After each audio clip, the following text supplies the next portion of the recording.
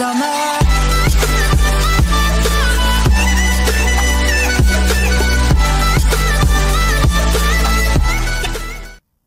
শিল্পীদের মনোনয়ন। Filmfare boycott করবেন অক্ষয় উড়ি হামলা এবং তারপর সার্জিক্যাল স্ট্রাইক। পরপর ওই দুই ঘটনায় ভারত পাকিস্তানের সম্পর্কে একেবারে পেরে কেটে গিয়েছে বলে মনে করছে বিভিন্ন মহল।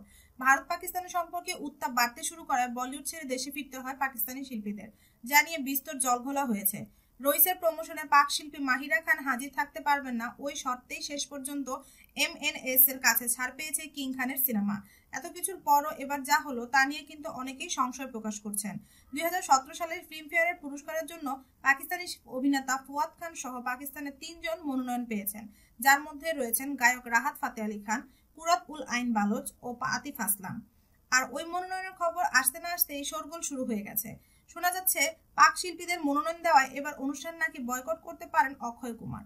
অক্ষয়ের ভক্তরা নাকি ইতিমধ্যে বিষয়টি নিয়ে টুইটারে ক্ষোভ প্রকাশ করতে শুরু করেছেন।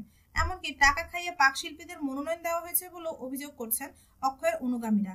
উড়ি সেনার ছাউনির পর একাধিকবার হামলা হয়েছে ভারতীয় সেনা জওয়ানদের উপর কখনো গুলি চালিয়ে ওপার থেকে, আবার কখনো জঙ্গি লিলিয়ে দিয়ে হামলা চালিয়েছে পাকিস্তান। তারপরও কীভাবে পাকিস্তানি শিল্পীদের আদর দেওয়া হয় তা নিয়ে প্রশ্ন উঠছে বিভিন্ন মহলে।